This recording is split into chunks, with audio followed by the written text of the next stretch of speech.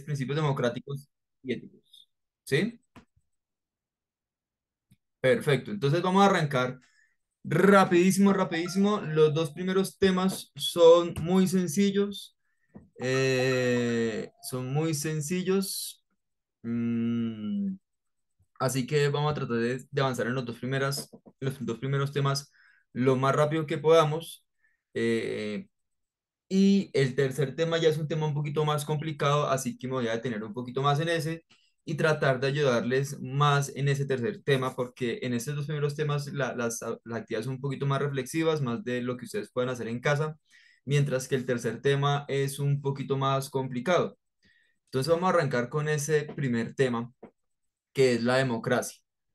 Eh, y aquí vamos a arrancar con una,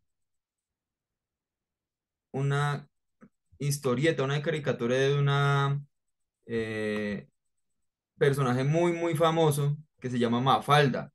¿Alguien me puede ayudar leyendo la caricatura?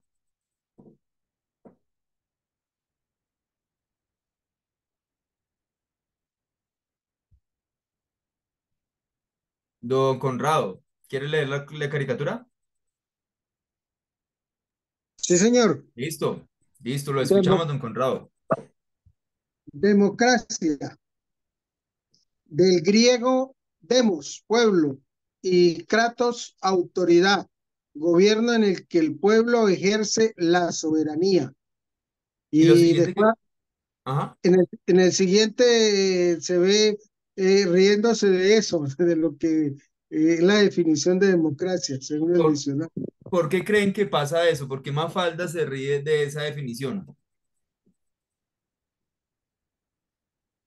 Es porque, eh, eh, eh, intervengo, profesor, disculpe. Sí, señor, claro, claro. Porque es que la idea que, que eh, la idea o la definición es una cosa, pero la realidad es otra. Entonces eso es lo que le da risa a Mafalda de, de lo, de lo que está leyendo. Es lo que yo pienso. Listo, excelente. Eso es exactamente el significado de esa caricatura, que dice que eh, eh, la democracia es el gobierno del pueblo, pero el último que gobierna en los sistemas democráticos a veces es el pueblo, ¿cierto? Sin embargo, hay que empezar a, a, a tener en cuenta varios elementos, ¿cierto? Desde el punto de vista de la definición o lo que es supuestamente la democracia, es un gobierno en el que nosotros, la ciudadanía, ejercemos algo que se llama la soberanía. La soberanía es como el ejercicio del poder eh, del pueblo, del poder, en quién reside el poder, en quién reside la capacidad de gobernar. Desde el punto de vista de la teoría, la capacidad de gobernar en la democracia reside en el pueblo, en los ciudadanos, en las personas que habitan un lugar determinado. En este caso vamos a llamarlo Colombia, ¿sí? Cuando, por ejemplo, se vivía en un sistema eh, monárquico, la soberanía recaía sobre el rey, es decir, el que tenía derecho a gobernar era el rey. Eh, en los sistemas eh, dictatoriales, la soberanía reside sobre el dictador. El que tiene derecho a gobernar es el dictador. Pero en los sistemas democráticos, en teoría, quien tiene derecho a gobernar es el ciudadano. Claro, si todo el mundo tratara de gobernar sería muy difícil. Entonces, lo que nosotros hacemos en el sistema democrático es elegir a un representante para que gobierne en nombre de nosotros. Para acá en el chat me están escribiendo. Eh, Bienvenido, señor Ramón. Y no se les olvide, no se les olvide, por acá nos recuerdan que no se les olvide llenar el formulario de asistencia. ¿Listo? Ahora, la democracia es una idea que empezó muy, muy, muy atrás en el tiempo. Por allá en el año 400 antes de nuestra era, antes del nacimiento de Cristo, en Grecia fue la primera idea de democracia y algunos pueblos la aplicaron de manera... eh, muy eh, esporádica, muy, muy corta eh, realmente. Se vino a aplicar de manera muy fuerte o de manera más amplia desde la Revolución Francesa, desde 1789. Eh, el primer país que la aplicó desde el punto de vista de la Constitución fue el Estado, los Estados Unidos en el año 1777. Y después de la Revolución Francesa, algunos países hicieron sus propias revoluciones. Por ejemplo, en Colombia la hicimos en el año de 1810 hasta 1819 y el resto de los países de América Latina más o menos en esa época y ahí empezaron a existir sistemas democráticos en estos países, luego en otros países eh, europeos y así se ha ido expandiendo a través del mundo, ¿cierto? Eh, y así más o menos funciona el sistema democrático en nuestros días. Voy a quitar esta imagen y voy a cambiarla para pasar a la siguiente.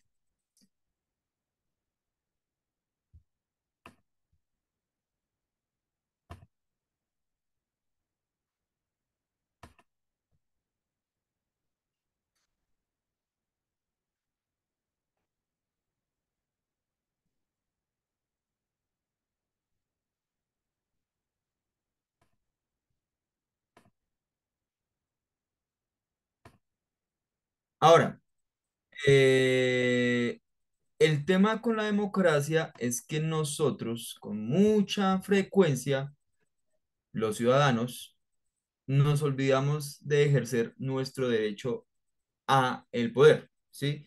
Nos conformamos con simplemente el día de las elecciones votar y ya, se acabó ya nuestro deber democrático y no ejercemos lo que uno llama el control social, ¿sí? No estamos pendientes de qué es lo que está haciendo el gobernante o nos dedicamos únicamente a criticar sin ejercer acción real sobre eh, em, las acciones eh, de los gobiernos. A Gladys Arias desde Tubo Norte Santander, muy bienvenida. Ahora, hay diferentes modelos de democracia. Una que vamos a llamar democracia directa o representativa y una democracia semidirecta o participativa. Perdón, indirecta o semidirecta. Entonces, la democracia indirecta o representativa, nosotros ejercemos democracia indirecta cuando por lo menos elegimos un representante al Senado, a la Cámara, a los consejos, ¿cierto? Municipales o distritales, o al Senado o a la Cámara de Representantes eh, a nivel nacional, ¿cierto? Eso es representativa porque escogemos a una persona para que nos represente. Y hay un segundo mecanismo que es lo que se llama democracia participativa o semidirecta. En esa, eh, nosotros somos quienes tomamos normalmente las decisiones. Un ejemplo claro de eso son, eh, por ejemplo, los plebiscitos que se han hecho últimamente en Colombia, el plebiscito de la paz o el plebiscito eh, anticorrupción, donde directamente los gobiernos le preguntaban a los ciudadanos, por ejemplo, en el caso de la paz, si estaba o no de acuerdo con los acuerdos que se hacían con la guerrilla de las FARC o en el caso de la, o en el del caso de la consulta anticorrupción, si estaba o no de acuerdo que se incluyera en la constitución estos, estos y estos ítems. Eso se llama directa, donde nos preguntan a nosotros directamente los ciudadanos si nosotros somos los que tomamos la decisión y no se la delegamos a un representante o a un gobernante. ¿Listo? Preguntas hasta acá. ¿Alguna? ¿Ninguna? No, profesor, ninguna. Eh, no, señor, ninguna. Vamos a solucionar esta primera actividad. Continúe con la clase. Señora. No, bueno. Entonces, vamos a pasar a, a, seleccionar rápidamente esa primera actividad, a ver quién cree que sea la respuesta correcta. Dice la pregunta, en la tira cómica que observamos de Mafalda, se presenta la palabra soberanía. De acuerdo al concepto de democracia, se podría entender que, dos puntos. A, la democracia como forma de gobierno es el sinónimo de soberanía popular. B, la democracia hace parte de la vida contemporánea. C, la soberanía popular es sinónimo de democracia como gobierno o de la democracia es propia de los griegos? ¿Cuáles creen ustedes que no serían las respuestas correctas en este caso? ¿Cuál de uno dice, esa no es, definitivamente? ¿La A, la B, la C o la D? Una de ellas, la, la D. Para mí creo que es la A, profe. Esa la, es la democracia como forma de gobierno es sinónimo de soberanía popular. ¿Pero como correcta o como incorrecta, señora Zoraida? pues para mí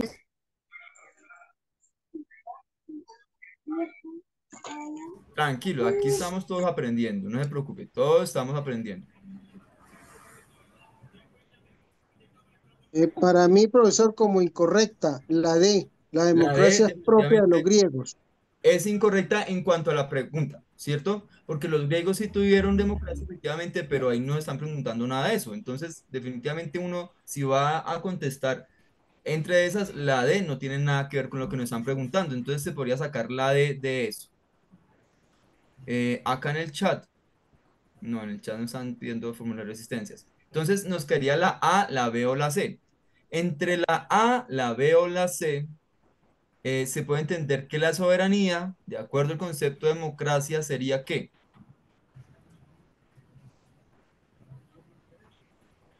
Pues por mi parte, profe, pues yo diría que la correcta es la C, Ajá. ya que la soberanía popular es sinónimo de democracia como gobierno. Bien, listo. Entonces vamos a analizar esa C a ver qué tal con respecto a la de la B. Entonces la A dice que la democracia como forma de gobierno es sinónimo de soberanía popular. Desde el punto de vista de Mafalda, eh, uno, uno diría que no, porque Mafalda lo que hace es reírse de eso. Entonces la A la podríamos descartar, ¿sí? Desde el punto de vista de la caricatura.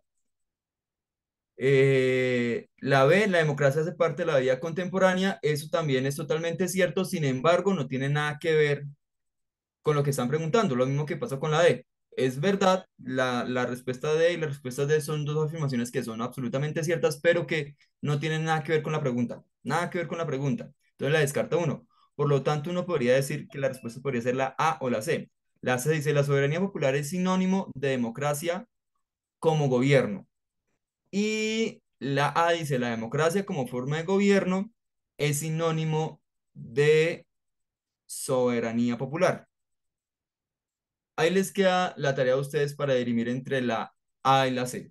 ¿Sí? Ya sabemos que la B y la D no son y eh, ustedes pueden escoger a ver cuál de esas. Ustedes tienen las guías, ¿no es cierto? Sí, profesor, sí las tengo. Yo las tengo por lo Ahí menos. yo les dejo la tareita. Ya sabemos que no es ni la B ni la D y ustedes desde su propia reflexión van a contestar a ver si es la A o la C. Ahí les adelanté la mitad del trabajo. Voy a cambiar de hojita, ¿vale? Paro de compartir y cambio de hojita.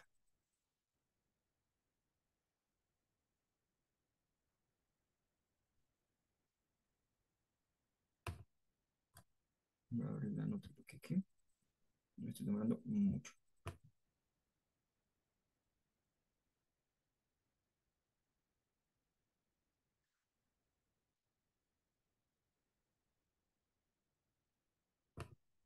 ¿Me están escuchando bien? Sí. ¿O hay problemas con el sonido? No, profe, se No, profesor, yo lo escucho bien, yo lo escucho bien, cambio. Se le escucha bien, se le escucha bien. Sí, se le escucha bien. Ah, bueno, muchas gracias. Pues, profe, ahí es como, tengo una duda porque igual, o no duda, pues a mí me parece la A, pero está, es- me confundo a veces con la B.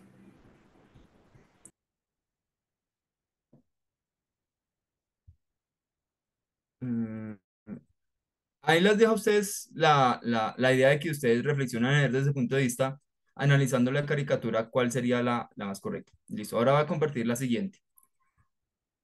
Pero ya sabemos cuáles no son, ¿no? Desde el punto de, desde el punto de vista ya podemos partir mucho más fácil. Eh,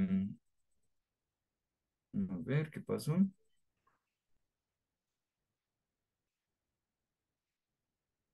segundito, que esto se puso un poquito lento.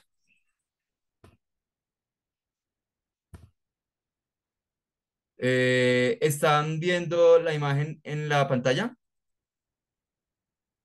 Sí, señor, la ¿Sí, ya? veo correctamente. Ya Sí, salió. señor. Perfecto. Es que cambié la aplicación porque me estaba tocando salir y entrar cada vez que cambié de imagen. Listo. Página 17. Eh, dice así. Completa. Te hace participar en cualquier evento. Dice, eh, vamos a devolvernos para poder resolver. Entonces, ay, eso- Profe, pues yo ya esa parte ya la tengo resuelta. ¿Ya la tienen? Sí, Ah, pues yo ya tengo resuelta junto a mi papá. Si quieres, compártelo para que podamos avanzar. Pues en la primera sería Eh, la idea. semidirecta participativa. Ajá, que dice que te hace partícipe de cualquier evento democrático perfecto. en la sociedad. Toma, En Sí. la segunda, en este sentido, la democracia es también, y dice el gobierno de la mayoría, de las mayorías, pero sin ujú. dejar de lado los derechos de los individuos ni, desa- ni desatender a la minoría. Es aquella que te involucra presentando tus opiniones, pero también, sí, perfecto, En la bien, tercera dice sería democracia indirecta o representativa. Es sí, aquella en la que te involucras presen- re- presentando tus opiniones. perfecto, perfecto. Eh, entonces, los compañeros que eh, tomaron notica, yo creo que eh, eso está perfecto. Lo que nos dijo la compañera, ¿quién fue la que nos acompañó? ¿Zoraida? ¿Quién fue? Alejandra. Alejandra, muchas gracias, Alejandra. Perfecto. Las siguientes preguntas, las 3 y la 4, son preguntas totalmente reflexivas, es decir, una pregunta que usted debe contestar de manera individual desde su casa, pensando en lo que es la democracia. ¿Listo? Eh, ¿crees que en la actualidad nuestro país existe democracia? Y argumente su respuesta. Es decir, ¿usted cree que de acuerdo a lo que nosotros ya dijimos que es la democracia, que es el gobierno donde nosotros ejercemos el poder a través de un gobernante, ¿eso existe en Colombia? ¿Sí o no? Y usted responde por qué cree que sí o por qué cree que no. Y en la pregunta 4, ¿cree que tu voto hace parte de la democracia activa? Y argumente su respuesta. Cuando le digo democracia activa es que nosotros como ciudadanos somos seres participantes de las decisiones, de la toma de decisiones eh, del país. ¿sí? Entonces lo que está preguntando es eso, si nosotros lo hacemos sí o no. Y si lo hacemos, ¿por qué si lo hacemos? Y si no lo hacemos, ¿por qué no lo hacemos? ¿Están claras esas dos preguntas? o hay que explicarles? Está Está claro, claro, profe. profesor. Está Está claro. claro. para la casita. Listo. La siguiente unidad, esa ya fue la primera unidad. La siguiente unidad también tiene que ver con eh, el tema anterior, el voto. Nos explican qué es el voto, ¿listo? Eh, ¡Juliana! ¿qué pasó? Está lento. tu, tu, tu. Ah, ya sé por qué está lento esto. Dame un segundito.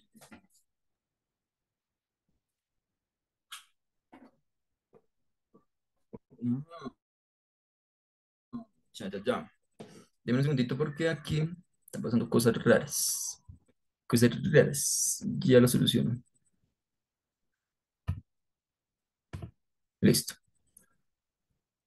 Listo, entonces, eh, nos trae un texto, dice, en ese sentido, es bueno recordar que en el pasado, frente a las dictaduras en diversas partes del mundo, incluso en nuestro propio país, las dirigencias políticas consideraron que el acto de votar era una manifestación legítima de protesta y un mecanismo de fundamental en la lucha para restaurar la democracia. Entonces, no siempre las personas han tenido derecho a votar.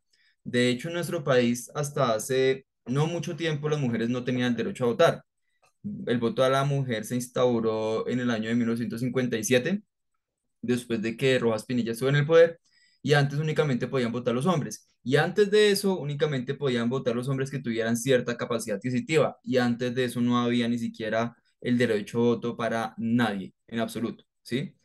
Eh, entonces, nosotros estamos muy, eh, ya como adultos, relacionados con el voto, porque yo creo que la mayoría de nosotros en algún momento ha votado, ¿sí? Eh, pero si alguien quiere o necesita una explicación adicional sobre el voto, no es sino que me dice, profe, explíqueme y con mucho gusto. O avanzamos. Avancemos, profe, Listo. avancemos. Perfecto. Yo creo que la mayoría ya estamos de alguna manera identificados con el voto, por eso es sencillo avanzar sobre eso. Entonces dice, actividad, analiza e interpreta la lectura y responde a los siguientes cuestionarios. ¿Para qué sirve el certificado electoral de votación? Pregunta usted, ¿para qué sirve? En Colombia, ¿para qué sirve el certificado electoral de votación? ¿Quién me cuenta? ¿Alguien sabe los beneficios? Para ingresar a la universidad, para, para Para la universidad, les cuentan el 10% de la matrícula si usted ha votado. Muy bien, ¿qué más? para si uno hace una escritura también le rebajan el 10%. También en los documentos públicos le rebajan el 10% del costo. Muy bien. ¿Qué otra cosa?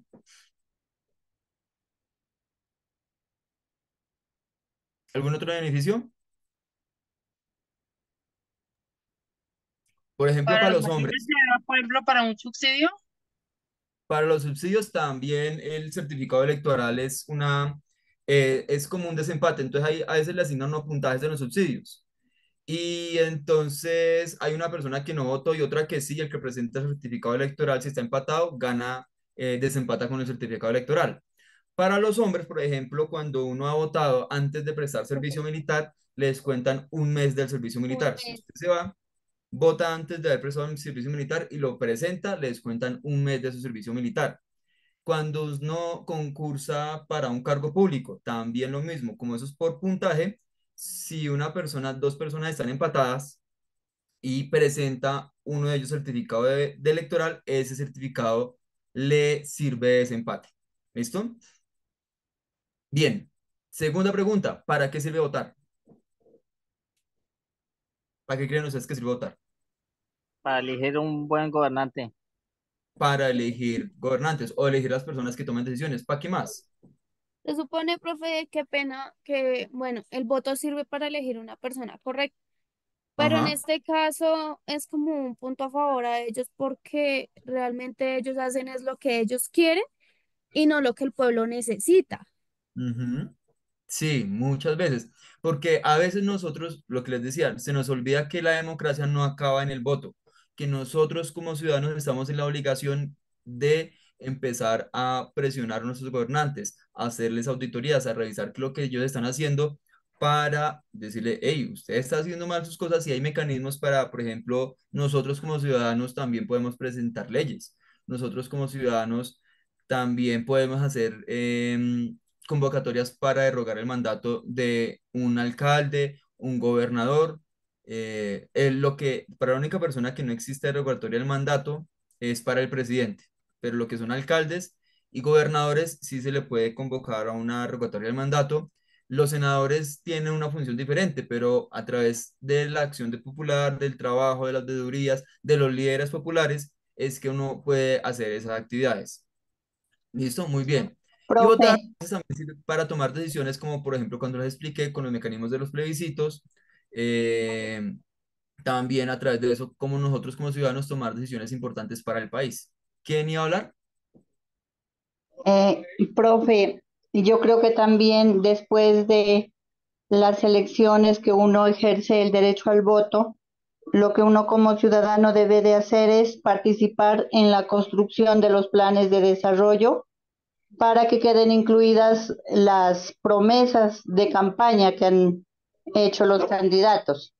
Muy bien, señora Emilias, eso es fundamental que nosotros participemos en los foros locales, en la, en la construcción de los planes de desarrollo, eh, en todas esas actividades eh, de participación ciudadana que eh, de los cabildos que abren los consejos, las alcaldías, las gobernaciones, que nosotros participemos de eso, porque si nosotros no participamos y solamente nos limitamos a votar, pues no hacemos nada realmente. Eh, estamos haciendo algo que es una democracia poco activa, ¿sí? Una participación poco activa y pues en ese caso es cuando los gobernantes realmente hacen lo que más les conviene.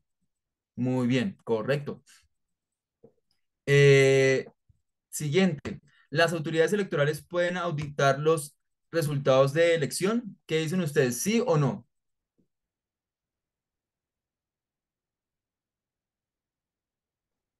¿Explico la pregunta? ¿No está clara la pregunta o la, o la, profe, por favor. ¿la explico?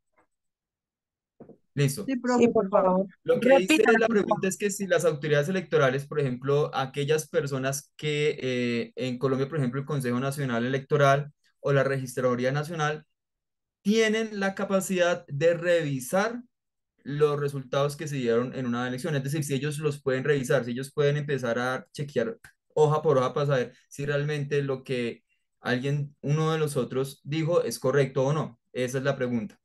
Sí lo deben hacer, sí se puede hacer. sí se puede hacer y de hecho tienen la obligación, no solo el deber, no solo la capacidad, sino el deber, la obligación de auditarlos, porque ese es realmente su papel. El papel de las autoridades electorales es garantizar que los resultados electorales sean fiables, sean confiables, sean verídicos y sean verdaderos, ¿sí? Es decir, no que, por ejemplo, la registraduría dijo, no, ganó Gustavo Petro con 11 millones y el Consejo Nacional Electoral diga, pues sí, si usted dice, pues es correcto, si no, pues no. No, ellos tienen la obligación de hacerlo, de auditar, de revisar los resultados electorales. Que si en una mesa un testigo electoral dijo, yo saqué tantos votos por fulanito y tantos votos por menganito, la registraduría de diga, diga, venga, miremos a ver si eso es verdad o no. Ellos tienen no solo la capacidad, es decir, no solo pueden hacerlo, sino que tienen que hacerlo. Es su obligación, ¿listo? Preguntas. ¿Ninguna? Entendí. No, no, profesor, ninguna. Todo, eh, todo es claro. Avanzamos. Esas tres preguntitas no las, me las responden acá en este espacio, ¿listo? Avanzamos. ¿Les parece? Profe, eh, Señora, eh, entonces la, en la actividad del primer punto debemos eh, argumentar cada una de las preguntas que nos están haciendo ahí, ¿verdad? Perfecto, perfecto. La idea era como que las tuvieran muy claras para que ustedes las puedan responder ya bien argumentaditas. ¿Listo? Ok, gracias. Listo. ¿Alguna otra pregunta? ¿Ninguna? Listo, avanzamos. Listo, acá. Eh, esto es A, B y C. Ahí están los espacios para la pregunta A o pregunta A, B, C. Y entonces aquí aparece el espacio para la pregunta. Venga, lo pongo acá. Eh. Pregunta A. ¿Están viendo el puntico rojo? ¿Ven el puntico rojo? ¿Sí? ¿Sí es el puntico rojo que estoy moviendo la pantalla? Sí, profe, sí, señor. Entonces, aquí viene el espacio para la pregunta A y en la siguiente página viene el espacio para la pregunta B y para la pregunta C. ¿Listo? Eh, viene un ejercicio, ¿sí? Eh, voto en blanco, voto nulo 2. Este ejercicio, espérate porque no lo veo. Este ejercicio parece que está incompleto. Ese ejercicio le hace falta tipos de voto. Según las opciones, tipo positivo 1, tipo sustractivo 2, voto en blanco. Ah, ya, ya entendí, ya entendí. Eh, están explicando los diferentes tipos de votos que hay, ¿sí? Voto positivo. Entonces, eh, el voto positivo es cuando usted vota a favor de eh, algo, ¿listo? A favor o en contra, ¿sí? El voto en blanco es eh, una opción que nosotros tenemos para decir, yo no estoy de acuerdo con ninguna de las opciones que me están presentando, así que no me abstengo de votar, pero tampoco voy a votar por ninguno. El voto nulo es una... eh, normalmente se hace por error. Yo anulo el voto porque a veces voto mal, escojo mal la casilla o simplemente tampoco quiero votar en blanco y simplemente muchas personas anulan el voto eh, marcando todas las casillas y eh, como una señal de protesta, ¿sí? Y el voto sustractivo, aquí aparece una caricatura explicando el voto sustractivo, me gustaría que ese sí lo explicara alguien mirando la caricatura. A ver, esperen acá, ¿sí lo están viendo? Sí, profesor. ¿Qué Eh, explicará? es do- Ajá. es donde, donde uno de los, de los candidatos, las personas, le paga a alguien para que vote por él. Es lo que yo votos. entiendo. aquí. Sí. ¿Alguien más iba a hablar? ¿Don Aysen? Sí, señor, que es cuando el mandatario compra votos para obtener una mejor situación de... Para, para poder ganar.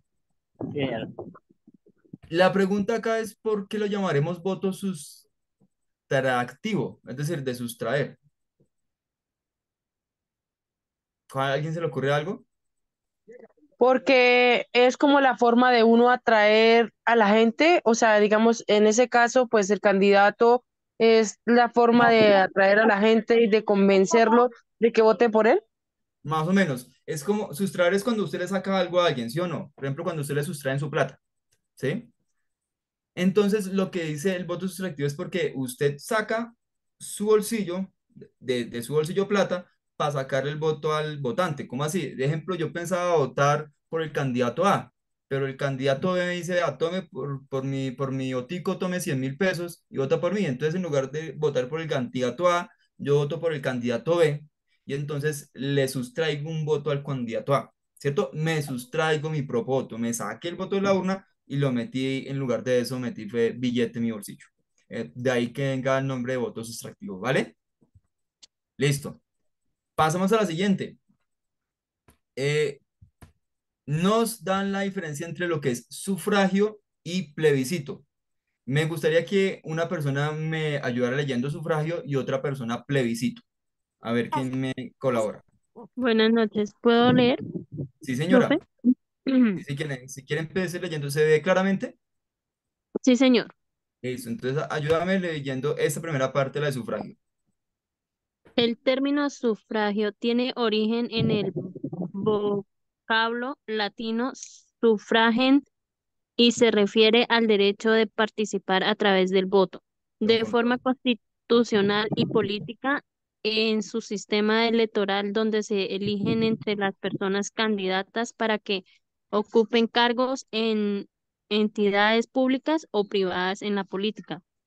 Este término también se refiere al voto en sí o a la opción tomada por cada una de las personas que son consultadas, especialmente en materia política, en una asamblea para realizar un voto. Listo, fin. El sufragio no es ni más ni menos que el voto común y silvestre que nosotros siempre depositamos en una elección. Cada vez que usted vota, le dicen, usted sufragó, votó, colocó un sufragio, ¿listo? Eso es el sufragio. Muchas gracias. Eh, ¿quién leyó, Ingrid? Sí, señor. Eh, muchas, muchas gracias. Señor Conrado.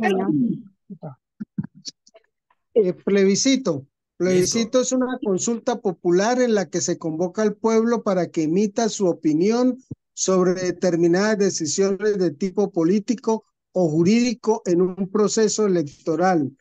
Los plebiscitos son mecanismos de participación ciudadana propios de la democracia, activados por los poderes públicos para que el pueblo tenga la posibilidad de expresar su acuerdo o desacuerdo con determinada cuestión legal o jurídica o con alguna medida de gobierno. Muy bien, señor Conrado, perfecto. Listo, ahí está el plebiscito. Entonces, ¿cuál será la diferencia simple entre lo que es un sufragio y un plebiscito? ¿Para qué sirve uno y para qué sirve el otro? ¿Quién me cuenta?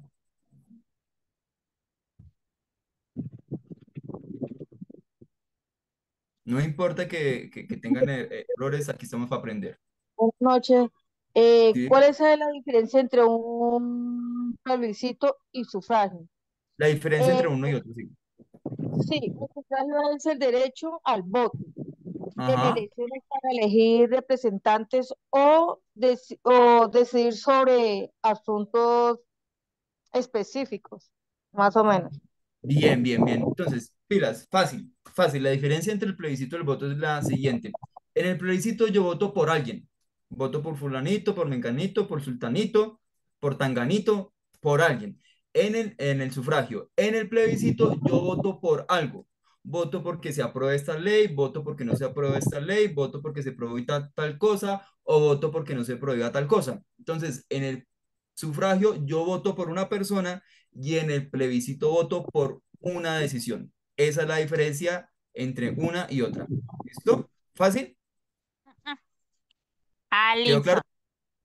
Listo. Muy fácil, ¿cierto? Entonces, en el, en el sufragio yo voto por una persona y en el plebiscito voto por una decisión.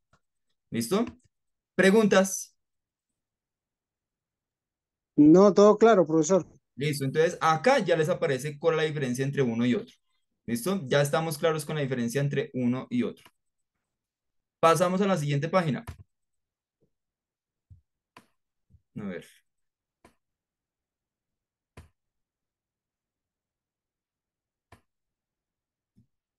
Listo. ¿Los plebiscitos son mecanismos de qué? ¿Cuál es la palabra que hay?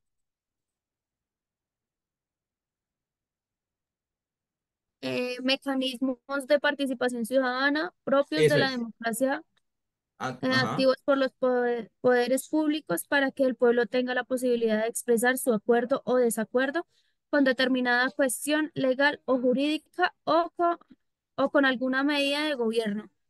Perfecto, ¿quién estaba hablando? Lo tiene más claro que el agua. Alejandra Rodríguez.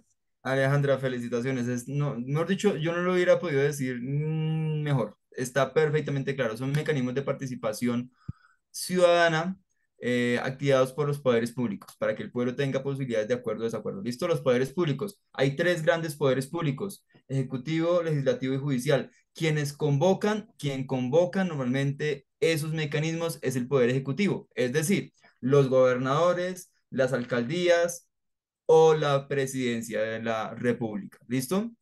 Y los ciudadanos, pues eh, nosotros, los mayores de 18 años. ¿Preguntas en ese punto? No, señor. Ninguna, profesor. Listo. Pasamos a la siguiente pregunta. Eh, de acuerdo a la historia de la sociedad, antiguamente en caso de reyes y virreyes a las personas del pueblo se les denominaba marques con X. Eh, marque con X, perdón. La respuesta correcta, vuelvo a repetir la pregunta. De acuerdo a la historia de la sociedad, antiguamente en caso, eh, eh, en casos de reyes y virreyes a las personas del pueblo se les denominaba marque con una X. ¿Cómo se les decía? ¿Escuderos, plebe, lazarillos o servidumbre? ¿Cómo se les decía? ¿Alguien sabe?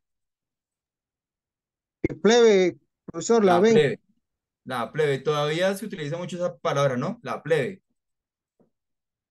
La B. Eso es correcto. Argumente su respuesta. ¿Por qué se le diría la plebe? La palabra eh, plebe tiene un origen un poquito antiguo, ¿sí? Y de ahí que eh, exista también esta otra palabra, plebiscito. Aún se le pregunta a la plebe eh, muchas cosas. Y cuando hacen un plebiscito, ¿a quién están preguntando? A la plebe. Entonces, eh, yo les recomiendo que investiguen qué significa la palabra plebe para poder saber por qué se le decía a la gente la plebe. ¿Listo? Y Eh, también, profe, pues aquí estoy averiguando. ajá, Dice clase social más baja, dice pueblo, vulgo, gente, masa, populacho, chusma. ajá, O pero también aristocracia, nobleza. ajá, En la antigua Roma, clase social que caractere- carecía de los privilegios de los patricios ajá. y pasado clase social común fuera de los nobles eclesiásticos y militares. Muy bien. Y también está emparentado con una palabra que se llama la prole o el proletariado, ¿cierto? La prole, ¿qué es? Cuando uno tiene prole, ¿qué tiene? ¿No? ¿Nadie? La prole es un ¿Cómo es la palabra? Prole, prole, E, P-R-O-L-E, prole. La palabra plebe está implementada con la palabra prole, y la palabra prole eh, básicamente es la, la, la herencia genética de uno, es decir, las personas que uno nace. Entonces, antes, en la antigüedad, como la plebe, es decir, la gente que estaba en los estratos sociales más bajos no tenía ni casa, ni caballo, ni dónde caerse, eh, lo único que tenía era hijos, entonces se fue, eh, a esa gente le empezó a decir la prole, porque lo único que tenían era hijos. Con el paso del tiempo, la prole y la plebe se empezaron a identificar. Entonces, las personas que únicamente tenían hijos y que estaban en la base de la sociedad se les conoce como proles o como plebe. ¿Listo? Bien. Les dice linaje, hijos o descendencia de alguna, conjunto Ujú, numeroso de personas que tienen algún tipo de relación entre sí. Correcto, eso es. Muy bien. Pasamos entonces a la siguiente pregunta. Esto ya es un tema un poquito más complicado. Entonces, de aquí para acá, más atentos porque eh, este tema ya empieza a ser un poquito más complicado. El crecimiento de la población y sus efectos sobre lo- los recursos. Eso se llama, eh, viene dentro de un tema que se llama demografía. ¿La demografía qué es? La demografía es la ciencia que se encarga de estudiar la forma de la distribución de la población. Ustedes yo creo que han escuchado últimamente en noticias que están diciendo que en los colegios ya no hay niños, ya cada vez hay menos niños en los colegios. ¿Sí han escuchado eso o Sí, no? señor. ¿Por qué creen que ya no hay niños en los colegios?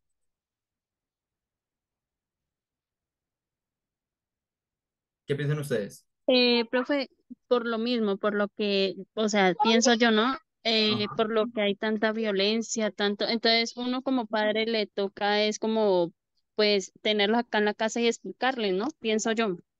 Es una opción, sí. ¿Qué otra causa creen eh, que eh, motiva que hoy en día existan menos niños matriculados en los colegios? Pues hay dos opciones, ¿no? La primera es que puede ser que no hay, o sea, ya no se están como, em, ¿cómo explico yo? Ya no hay como la población misma de antes, ya se ha disminuido antes. Porque es que antiguamente eh, tenían siete, ocho hijos, ya ahorita las mujeres no, ahorita máximo la que más tenga tiene cinco, del resto ya es uno o dos, entonces la población va disminuyendo, opino yo, ¿no? Eso es correcto. Entonces, eso es una forma en la que cambia la población. Si uno se va para Colombia hace 40 años atrás, eh, las familias tenían, yo tengo 23 tíos, 12 por un lado y 11 por el otro. 23 tíos, es mucha familia, ¿sí? 12 hermanos tenía, mi, 11 hermanos tenía mi, mi, mi papá y 10 hermanos tenía mi mamá. Yo tengo un hermano, o sea, somos dos, ¿sí? y por ahora no tengo hijos. Eso hace que la población pues cambie. Eso se llama la estructura de la población. En algún punto de la historia, la población en Colombia crecía mucho, mucho, mucho y hoy en día la población está creciendo más poco. Entonces, si uno hace un dibujito que uno llama una pirámide poblacional, va notando entonces cada vez hay menos eh, población, es decir, hay menos nacimientos y eh, eh, a eso se le llama demografía. Ahora, lo que nos habla de acá es cómo crece la población y cómo tiene efectos sobre los recursos disponibles. Porque no, eh, aunque esto ya hay que empezarlo a repensar, porque hace 10 años la población estaba creciendo muchísimo y no paraba de crecer, no paraba de crecer. Y de, los últimos 5 años hacia acá, inclusive eh, especialmente desde la época de la pandemia, la población ya ha empezado es como a decrecer, es decir, cada vez están teniendo menos hijos las familias. Se preocupan mucho por la cantidad de hijos. Hoy en día sostener un hijo es muy, muy costoso en comparación con eh, hace 30 o 40 años atrás. Entonces ya las parejas se lo piensan para tener hijos. Sin embargo, cada hijo que viene y cada persona que nace significa consumo de recursos, alimentos, recursos eh, renovables eh, como plantas, ¿cierto? Consumo de todo tipo de materias primas o consumo no renovables como consumo de carbón, consumo de energías y cosas así, ¿sí? Eh, y eso es un problema, porque entre mayor población, pues, eh, por ejemplo, se, se tiene efecto. Si usted consume, por ejemplo, un país que exporta, ¿qué exportamos nosotros los colombianos? De aquí para afuera del país.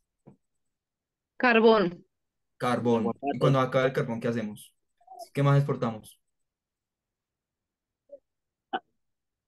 Arroz. Flores, flores, Flores. Y cuando los suelos estén totalmente desérticos, ¿qué hacemos? ¿Qué más exportamos?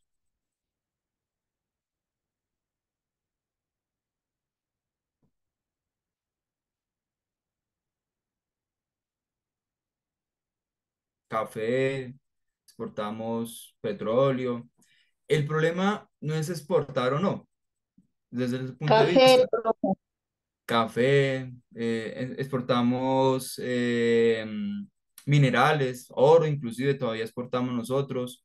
El, el punto es cuando todos esos recursos se agoten o cuando los suelos se, se estén totalmente deforestados, ¿cómo vamos a nosotros a resolver ese problema? Y entre más personas existan en el mundo, pues más recursos van a necesitar, ¿sí? Si, si hay más personas en el mundo que, por ejemplo, consuman café, pues uno va a tener que sembrar más café y más se va a deteriorar el suelo. Si hay más personas que consuman carbón en el mundo, pues más vamos a tener que extraer. En algún punto el carbón se va a tener que acabar. Entonces, ¿qué vamos a hacer? Y la pregunta que nos plantea esta unidad es cómo, cómo equilibrar esas dos cosas, la necesidad de explotar recursos porque la tenemos, nosotros no, no podemos vivir sin explotar recursos, y la necesidad de explotarlos de manera racional conforme a la forma en la que crece la población. ¿Queda más o menos claro el problema que están planteando acá? Sí, señor. Listo. Eh, voy a leer muy, muy rápido para, para avanzar. Entonces, El desarrollo de la población ha ofrecido muchos beneficios a los seres humanos. Se han hecho grandes avances en la producción de alimentos, provisión de calor, luz, abrigo y tratamiento de cura de algunas enfermedades. Estos logros se deben a la habilidad de nuestra especie para manipular su entorno.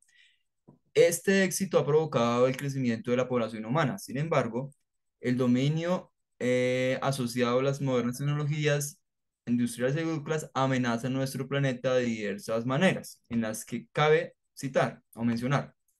La rápida reducción de recursos terrestres por una población en continuo crecimiento. Crece la población, se reducen los recursos.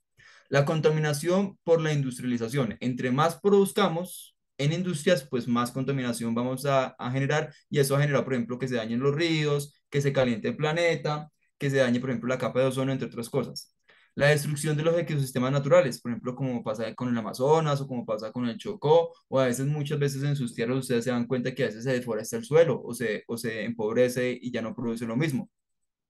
La extinción acelerada de plantas y animales también es un problema. Cuando usted le acaba, por ejemplo, el hábitat de un animal, un animal, por ejemplo, un mono tití que vive en la selva del Amazonas, y usted le tumba la selva, pues ese animal ya no va a tener dónde vivir.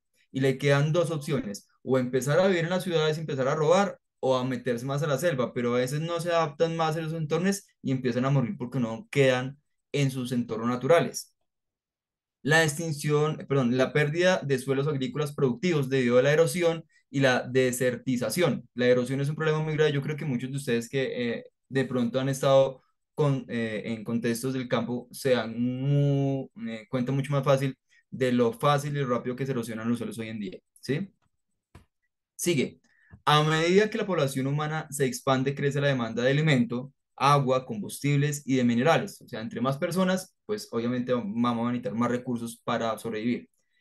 Es por ello que el agotamiento de muchos recursos vitales para nuestra especie haya disminuido. El cambio climático y la nueva cultura del agua ha generado la pérdida de otro recurso, el suelo cultivable. Ya muchos lugares no son cultivables porque eh, al agotarse el recurso hídrico, el agua, pues eh, el suelo eh, se empobrece, ya no tiene los mismos minerales que tenía antes y pues es más difícil cultivar ahí. Eh, la erosión destructiva por el afán de ampliar las superficies cultivadas en las tierras marginadas, normalmente, yo no sé si todavía lo hacen, todavía se deja, digamos, se deja como rozando seis meses el suelo o, o, ya no se hace tanto esa práctica. Cuando yo estaba más pequeñito, me acuerdo que mi abuelo rozaba una parte seis meses y la hacía las quemas y otros seis meses cultivaba y luego rotaba la tierra o ya no hay suficiente espacio para eso. Alguien que me cuente.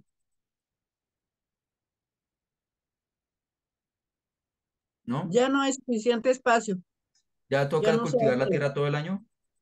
Ya no se hace eso. Mm, imagínense. Y eso causa problemas de erosión sobre la tierra. Con el paso del tiempo la tierra se le van acabando los nutrientes y ya no se va a poder cultivar nada. Y eso es un problema que genera la población. Segundo, la ampliación de cultivo de llamadas tierras vírgenes. Eso causa la degradación del suelo cultivable, agricultura intensiva y erosión eólica. Tierras vírgenes, por ejemplo, que uno tumba un pedazo de monte o de selva para cultivar donde antes no cultivaba o para o a veces para llevar ganado también. Muchas veces pasa que uno tumba un pedazo ahí de monte para, para, para llevar ganado. Eso pasa también a veces. ¿Sí? Eh, y nos presentan una tablita. Población mundial eh, por continente. ¿Sí? No hablan de la densidad. Les voy a explicar rápidamente la tablita para que la, para que la entiendan. Entonces, Asia. Decían que en el año 2013 habían 4.305 eh, debe ser en millones, 4.305 mi, 4 mil millones de habitantes, 4.305 millones de habitantes, es decir, 4 mil millones de habitantes. ¿Qué significaba que por cada kilómetro cuadrado habían 89 personas? Es decir, en un kilómetro metían 89 personas. Para el año 2050 habrán 5.284 millones de personas, 5 mil millones de personas, eso es mucha gente. Nosotros en Colombia somos 50 millones. 5 mil millones de personas es muchísima gente. Dice que para ese año van a haber 109 personas por kilómetro cuadrado. En África, en el año 2003 habían 1.100 millones de personas, 33 eh, personas por kilómetro cuadrado y hoy en día son 73 personas por kilómetro cuadrado. En América, para el año 2013 habían 958 millones de personas y se estima que para el año 2050 habrán 1.228 millones de personas. Pues en comparación con otros continentes parece que estamos mucho mejor. ¿Sí?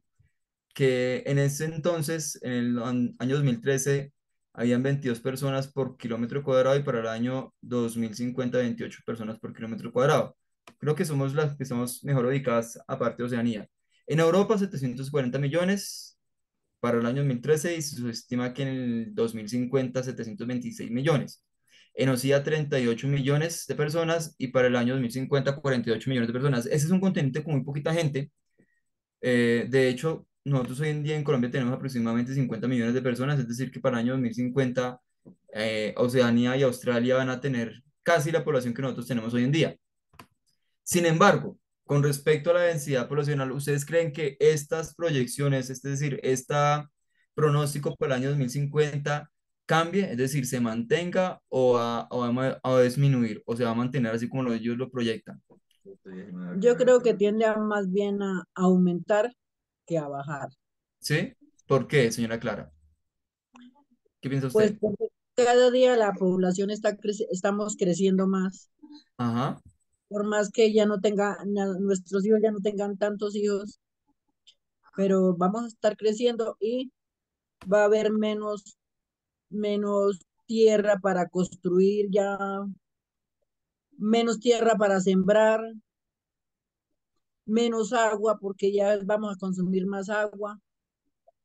De pronto, pues ya no voy a estar vivo en ese tiempo, pero mis nietos sí, pero. Pues ojalá, ojalá sea al contrario y, y nosotros como seres humanos nos, nos demos cuenta de que tenemos que ser racionales. No podemos dejar de consumir porque necesitamos consumir para mantenernos vivos, pero empezar a, a consumir de manera como más racional, ¿cierto? Listo. Eh, es una opinión, ¿sí? De pronto la señora Clara tiene razón, de pronto nos equivoquemos, ojalá, pues de aquí al año 2050 estamos, es que nos falta tampoco tanto, ¿no? Nos faltan 25 años para el año 2050, ya estamos cerquita, estamos más, estamos casi tan lejos del año 2050 como del año 2000, y si ustedes se acuerdan del año 2000, eso no fue hace tanto tiempo, entonces, pues, ya se nos vino encima el año 2050. Entonces nos explican. Eh, en la tabla anterior, en la tabla eh, anterior, nos damos cuenta de que a mayor crecimiento poblacional, mayor desgaste de los recursos naturales, como la tierra, el agua y el oxígeno como base fundamental para la vida. A continuación, te damos algunas ideas para preservar los recursos naturales y explican como algunas tips en las que usted podría ayudar. ¿Listo? Y pasamos a la actividad.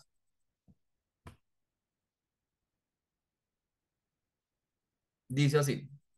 De acuerdo a la anterior información, ¿qué otras propuestas se te ocurrirían para mejorar los recursos naturales? Entonces acá nos dan como 12 propuestas aproximadamente, si no me falla la memoria.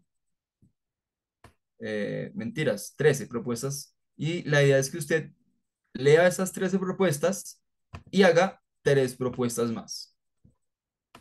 ¿Está clara esa actividad? Sí, profe. Sí, señor. Eh, la superpoblación global, siguiente punto, la superpoblación global es muy grande. Se destacan tres países, China, Indonesia y Estados Unidos. Eh, y preguntan, ¿cuál de los dos siguientes opciones crees que es la mejor para controlar la so- sobrepoblación? Y argumente su respuesta. Nos dan dos opciones.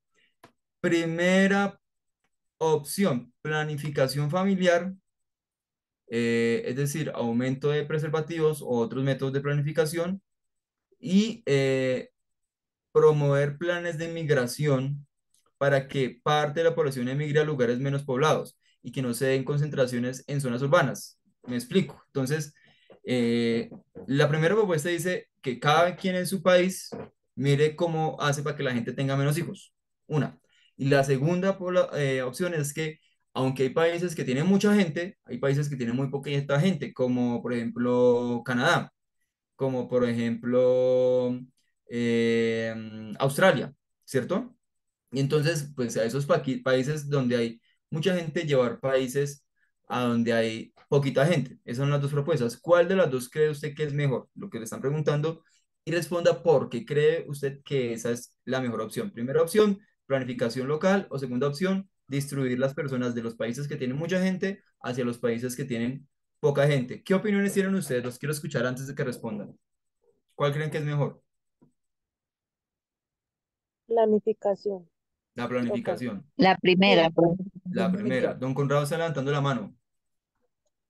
En el caso mío, profesor, este, promover los planes de migración, en el, mi caso personal, porque eso haría que entonces en aquellos lugares eh, se diera la oportunidad de ayudar y, y, los recursos se pudieran aprovechar mejor en ese lugar, habiendo más personas y pudiendo producir más en, en ese país, en mi opinión. Listo, sí. Ambas opiniones, señora, ¿quién está hablando? Pues en este caso también sería bueno promoverle planes de migración, ya que mucha gente pues no está de acuerdo en dejar de tener familia. Entonces mucha gente va a querer seguir teniendo sus hijos y todo eso, entonces va a ser mejor promover lo que es los planes de migración.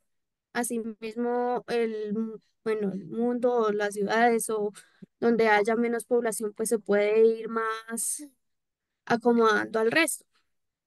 Por acá en el chat también la señora Jenny me dice que la planificación, bueno, son dos posiciones distintas, ambas desde mi punto de vista son válidas. Lo importante ahí es que usted argumente y sustente por qué cree eh, que una es válida eh, mejor que otra. ¿Listo? ¿Queda clara esa actividad? ¿Sí? Sí, profesor, está claro. Pasamos a la siguiente página. Eh, viene un texto. ¿Quién me lo quiere ayudar a leer? Eh, yo, profe. Listo, listo. El fragmento del El cuento La vaca Se me fue Tina. la mano. Se me fue la Había mano. una vez una vaca llamada Tina. Ella, oh, profe, espérame, lo abro acá que lo tengo Sí, que ver. se, se me fue la mano. Ya. Ahora sí. Ya.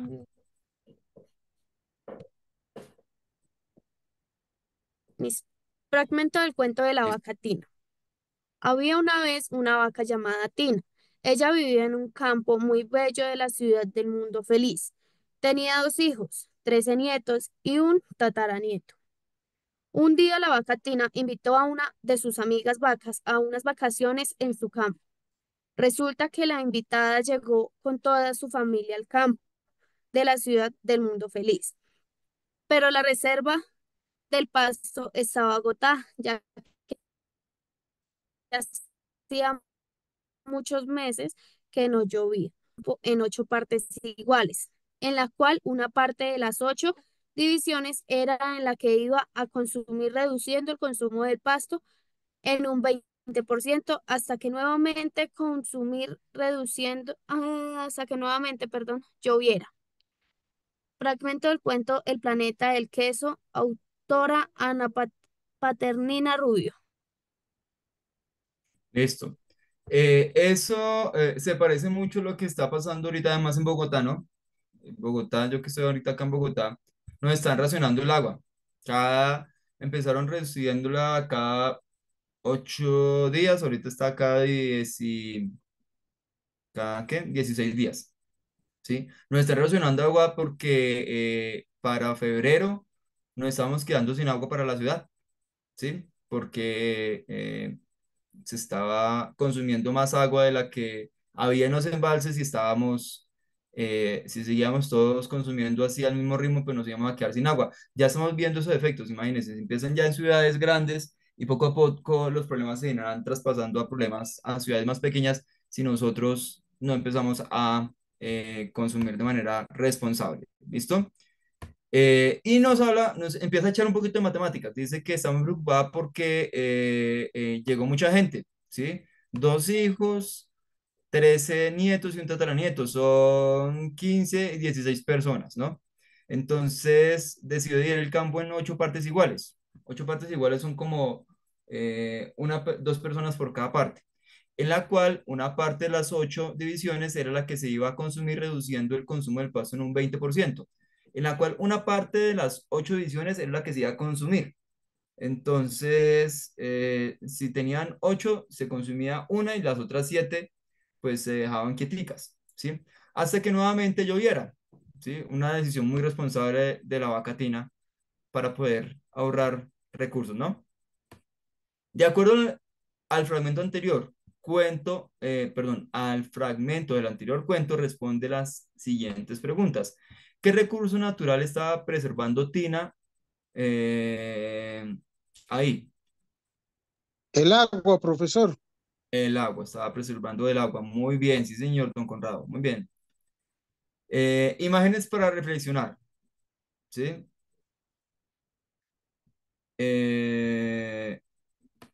en seis reglones ¿qué imagen, qué enseñanza te deja esta imagen? ¿De qué es la imagen? ¿Quién me la explica? ¿Quién me cuenta qué estamos viendo acá en pantalla? La imagen dice, donde había cerros quedará un cráter tóxico. ¿Y eso qué será? Por ejemplo, como el Nevado del Ruiz. ¿Pero qué está mostrando esa imagen? ¿Alguien me puede decir qué está pasando ahí? Estará quedando como la sequía, que en este caso está mostrando de que ¿A en ese el lado momento de la hay? sequía va a quedar un, un cráter. Vean a ese lado qué hay. ¿Qué es esto? Profe, buenas noches. Ahí es como una explotación. Mm, Es, ya vamos dándole con el quick del asunto, sí, señor, ya estamos dándole a- ahí a- al tema. La parte de acá que nos muestra una qué, Un volcán. una, una montaña, parece un volcán porque está blanco y negro, pero es una montañita, sino que imagínense la verdecita, ¿sí? Y acá,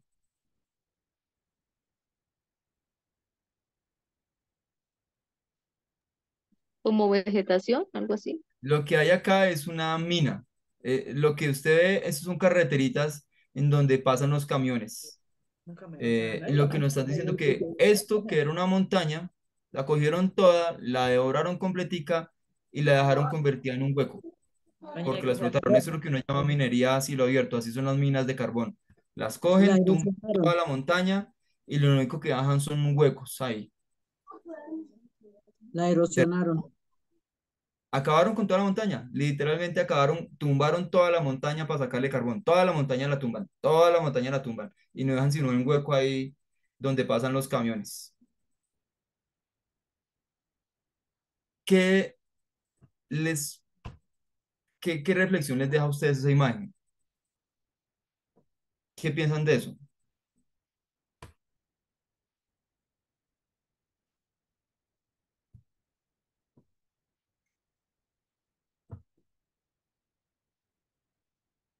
Conrado, don Conrado. Profesor, que,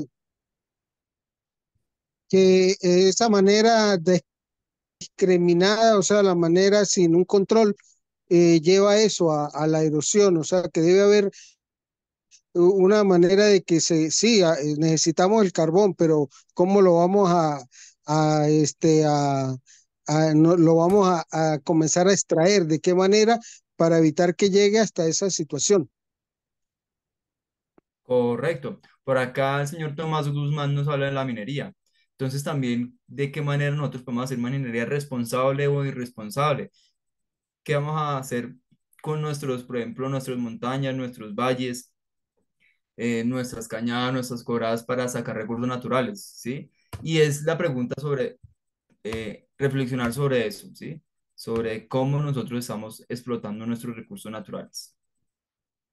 Pasamos a la siguiente página. ¿Quedó clara la actividad que hay que hacer ahí? ¿Sí? Sí, Sí, profesor. Listo. Entonces pasamos a la siguiente página.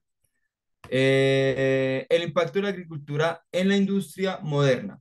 Tiene también mucho que ver porque habla de eh, la forma en la que se explotan los recursos naturales. Ahora, la relación es distinta.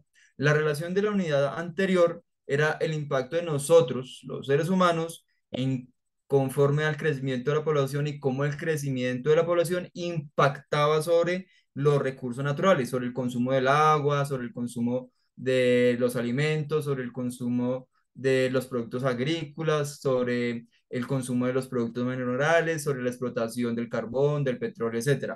Ahora, lo que plantea esta última unidad es cómo la agricultura impacta sobre las industrias. ¿Listo? ¿Queda clara la diferencia entre las dos unidades? ¿Sí? Listo. Entonces, vamos a leer. Eh, ¿alguien quiere leer esa primera partecita? Profe, yo no tengo esa página. ¿No la tiene? No, señor. Ah, esta es la página número, miremos a ver qué número es. La número 17. Ay, es que me Es de la salté. cartilla 5. Ah, es que claro, 9, 10, espérate. 9, 10, 11, 12. Ah, es que yo me la salté. Porque esa venía anterior a esta, perdón. Fue yo, el error es mío de todas maneras.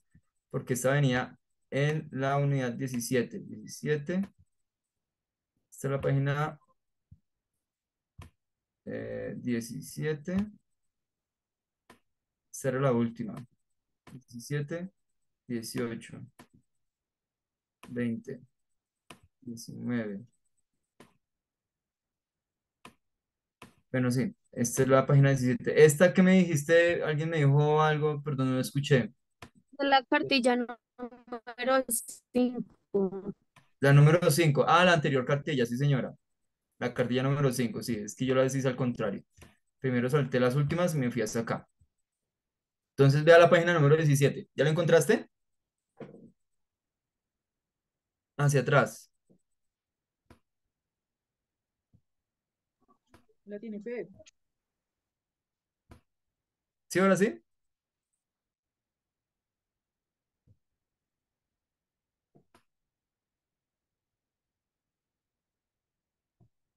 Don Conrado, ¿va a leer? Sí, señor, sí, señor. El, el ¿Alguien más le falta esa página?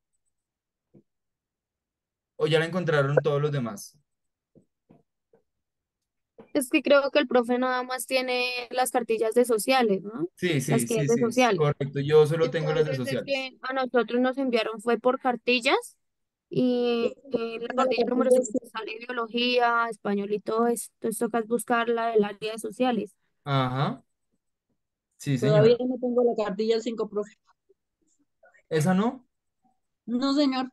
Tengo Eh, la 6, pero la 5 no, profe.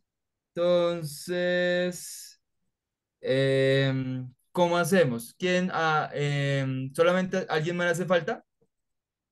Pues si quieres, Pero yo todas la las car- reenvío al grupo. Sí, todas las ¿Señora? cartillas están en el grupo de WhatsApp.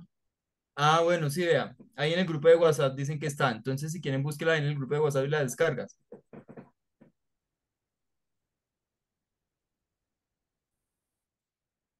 ¿Listo?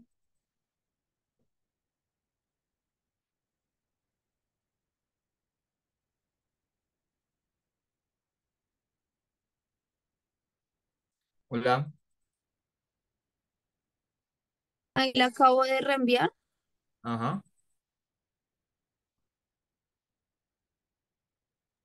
Listo. Entonces, continuemos. Gracias. Don Conrado, levanto la mano. sí, señor. Este, ¿Para el leer? impacto de la, de la agricultura en las industrias modernas. ¿Correcto, profe?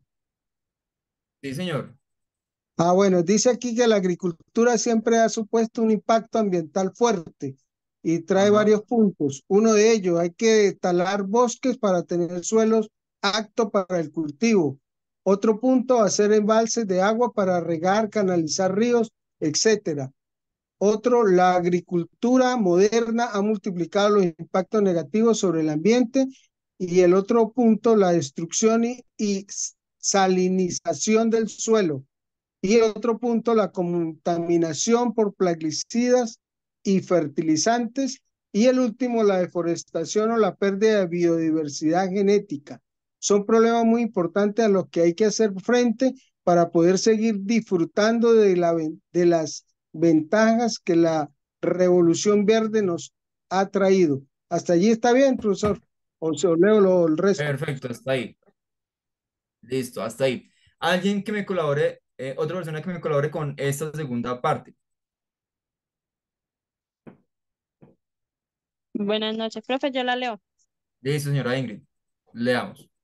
Dice, todo eso nos ha traído algunos de, algunas desventajas como A, erosión del suelo, B, salinización y anegamiento de suelos muy irrigados, C, uso excesivo de fertilizantes y plaguicidas, D, agotamiento de acuíferos, E, pérdida de diversidad genética, F, deforestación, G, consumo de combustibles fósiles y liberación de gases invernadero.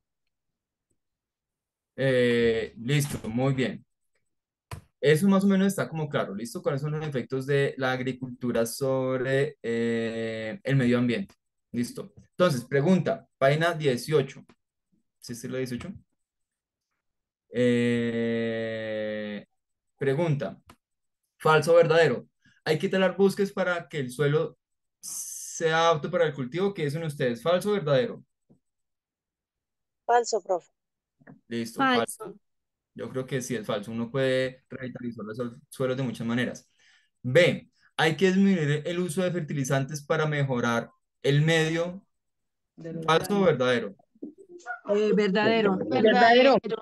Listo. Bien, perfecto. Eh, pasamos a la siguiente. Acá en el chat, ¿qué me dicen? Me dicen falso. Perfecto, también estaban de acuerdo. Con base en el mapa conceptual podemos observar que algunos impactos de la agricultura y la industria moderna. Entonces, máquinas, eh, maquinización menos campesinos, menos campesinos, más máquinas. Eh,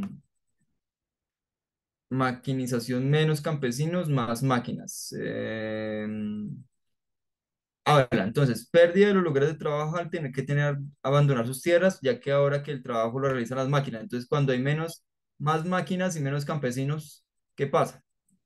Eh, hay pérdida de trabajo. Hay empobrecimiento de los pequeños campesinos y beneficio de los grandes terratenientes porque pues ellos compran máquinas y ponen a trabajar las máquinas en lugar del campesino. Eh, hay éxodo rural, es decir, los campesinos se van de- se tienen que ir del campo a la ciudad eh, para las grandes ciudades y hay aumentos eh, de diferencia entre los ricos y los pobres. Por ejemplo, el ejemplo del, del éxodo es mi familia, mi familia era campesina, mi papá y mi mamá, y les tocó venirse para Bogotá porque en el campo, pues en ese entonces ya no tenían trabajo. Y por el otro lado, eh, los fe- fertilizantes, eh, a los jóvenes ya no les gusta el campo. Eso, bueno, yo, yo, yo, yo tengo mi opinión sobre eso, pero pues no se las doy porque es que a veces también eh, a, a los jóvenes les hace falta como ver que, que el campo le dé también oportunidades de trabajo, ¿no? Porque si el joven ve que en una ciudad trabajando eh, en el campo se esfuerza, se esfuerza y no, y no ve progreso, pues el joven va, va a buscar en otro lugar. Pasa mucho, ¿no? Pero pues también hay muchas otras opciones, muchas. Eh, fertilizantes artificiales y control de manos eh, en manos de las industrias químicas. Entonces, que para poder fertilizar o para poder fumigar, tiene uno que comprarle a siempre las mismas empresas los, los abonos o los, eh, los abonos o, o, lo- o- los fertilizantes o eh, la fumiga para todo el campo. Por acá nos dicen eh, el uso de la maquinaria también aumenta la contaminación, totalmente cierto. Bien sea en el campo ciudad, cualquier uso de maquinaria va a aumentar la contaminación. El trabajo el campo es fuerte y no está bien remunerado, eso es totalmente cierto. Al campesino colombiano hace falta que se le remunere mucho mejor su trabajo, que vea que su trabajo está bien pagado, que tiene garantías, que puede trabajar y poder vivir eh, com- como, como a veces se podía vivir de- del trabajo del campo antes, ¿no? También, es cierto. Ya uno, una finquita no da lo que antes. Eh, segundo punto, teniendo en cuenta el anterior mapa, podemos deducir la complejidad de ese tema, del tema de la maquinización del campo, ¿no? ¿Cuál sería el resultado final si acabamos con la mano de obra de los campesinos? Pregunta. A. Pobreza, hambre y más contaminación. B. Pérdida de lugares de trabajo y más máquinas. C. Migración a, otras ciudades. O D. Todas las anteriores. ¿Cuál es crees que sea la respuesta correcta? La D, profe. La D. Todo eso va a pasar si acabamos con la mano de obra campesina. Más pobreza, más hambre, más contaminación, menos trabajo y pues las personas van a tener que irse del campo a la ciudad. Todas las anteriores, correcto. Muy bien. Pasamos a la siguiente página. Y creo que ya casi acabamos. Listo. Dice así. ¿Qué solución plantearías? Ah, no, mentiras. En un país como Colombia existen pocas oportunidades de progreso y trabajo para la población campesina. Dicha población emigra al campo a las ciudades por no tener fuentes de empleo ni garantías para una mejor calidad de vida de sus regiones rurales. ¿Qué solución plantearía para mejorar la calidad de los campesinos y evitar que emigren al campo? ¿Sí? O sea, ¿usted qué pensaría, qué le diría, por ejemplo, al gobierno o usted qué haría para, para que los campesinos puedan mejorar su calidad de vida y evitar que la gente se vaya del campo a las ciudades? Ahí les dejo esa queda para que ustedes la solucionen en casa. ¿Queda clara la pregunta o hay que explicar o, o no? ¿Está clara? que ayuden para la que ayude que haya más ayudas para ellos por cuenta del gobierno para que les den sus fumigos para poder cultivar que tengan más posibilidades Eso, esa es, ese es un ejemplo de respuesta, ¿sí? Eso es lo que tienen que enfrentar, una propuesta, perfecto. Que bajen los abonos químicos para que la gente pueda poder eh, sembrar más para que haya ganancia, porque es que los campesinos ya no tienen ganancia, ya no siembran, es por eso. Perfecto. También hay dos. Eh, Eso es lo que hay que hacer en ese punto. Muy bien, perfecto, ya lo entendieron. Listo, siguiente punto. En las anteriores imágenes se observan dos tipos de trabajo. Trabajo con mano de obra, como el que está acá, y trabajo con máquinas, como el que, no lo estoy señalando, pero lo señalo. Trabajo con mano de obra, como el que está aquí. ¿Listo? Y trabajo con máquinas, como el que está acá al otro lado. Eh, en esas imágenes te podrás dar cuenta de las ventajas y desventajas del impacto de las grandes industrias eh, han traído a la tierra. Entonces uno ve, si estuvieran a colorcito, ustedes verían pues que este, este terreno se ve muy diferente a, al terreno, al terreno que, usted, que uno trabaja a, a punta de asadón, ¿no? Cuando uno coloca un tractor en la tierra, la, la tierra siempre se ve mucho más maltratada y queda como mucho más eh, deforestada que cuando uno lo trabaja a punta de asadón, ¿no? Entonces, eso nos da las, las imágenes. Y dice la página, la siguiente actividad, y con eso acabamos. eh, realiza un cuadro comparativo de las ventajas y desventajas que eso ha traído a la sociedad actual. Es decir, ¿qué cosa? Las, eh, la imagen anterior, el trabajo con máquinas y el trabajo eh, a mano, ¿sí? Entonces, por ejemplo, ventajas. Una ventaja del trabajo a máquinas es que eh, disminuye los costos. Perdón, este trabajo, eh, una desventaja es que eh, el trabajo a mano, por ejemplo, disminuye, eh, perdón, el trabajo a máquinas disminuye los costos. Es mucho más barato poner a trabajar una máquina que contratar eh, a 20, a 20 personas para que trabajen ahí. Desventaja, el desempleo. Entonces, porque una sola máquina hace lo de 5, 10 o 15 obreros, ¿no? Y de ahí para abajo van colocando todas las ventajas que ustedes vean y las desventajas que ustedes vean del trabajo a base de máquinas en el campo. ¿Está clara la pregunta? Profe, qué pena, a mí no me quedó clara. Las ventajas son las, las que, ¿qué, perdón? Las de trabajo a mano. De, de- del trabajo, de todo el tema, no, de máquinas.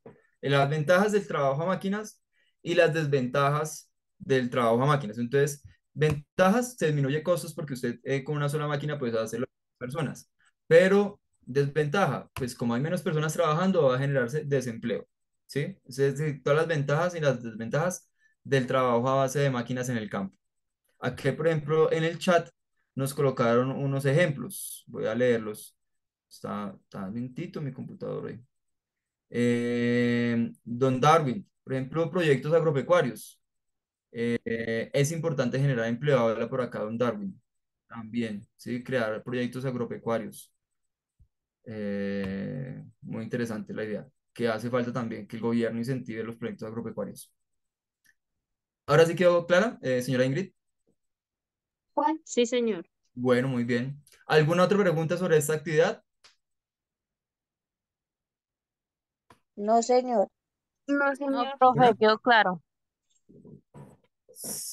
Listo. Entonces, con esto eh, daríamos por finalizada la clase de hoy.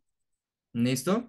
Eh, un placer haberlos tenido por acá, muy chévere, muy participativos todos, muy colaboradores, qué chévere, qué bonito haberlos tenido por acá. Los felicito a todos. Hasta mañana, Muchas profe. gracias, profe. Que descanse. muchas gracias. Buenas noches. Gracias.